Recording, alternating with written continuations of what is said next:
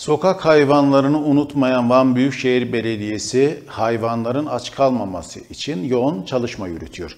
Van Büyükşehir Belediyesi kentteki hayvanseverlerle birlikte sokak hayvanları için beslenme etkinliği düzenledi. Van Büyükşehir Belediyesi kentteki hayvanseverlerle birlikte sokak hayvanları için besleme etkinliği düzenledi. Etkinlikte belirlenen alanlara mama ve su bırakırken veteriner hekimler ise hayvanların parazit aşılarını yaptı.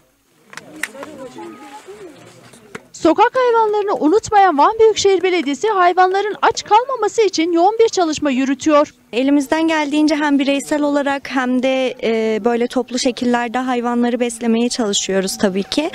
E, herkesi de bu duyarlılığa davet ediyoruz. E, inanıyoruz ki ne kadar çok olursak o kadar güzel bir hayat geçirecek bu güzel melekler. Van Büyükşehir Belediyesi'ne tekrardan çok teşekkür ederiz. Çok güzel bir gündü. Kent genelinde 120 odak noktasına düzenli olarak mama bırakan ekipler, gönüllü hayvansever ve vatandaşlarla birlikte besleme etkinlikleri gerçekleştiriyor. Bu kapsamda Bostaniçi Mahallesi Sıhke Gölü civarındaki alana gelen ekipler, hayvanseverlerle birlikte sokak köpeklerine mama ve su bıraktı. Van Büyükşehir Belediyesi olarak sokak hayvanlarının beslenmesini sağlıyoruz. Hayvan Bakım ve Rehabilitasyon Merkezi olarak e, il genelinde toplam 120 tane kalıcı noktamız var ve e, bu kalıcı noktalarda da hayvanların e, beslenme ve e, mama ve su ihtiyaçlarını karşılıyoruz.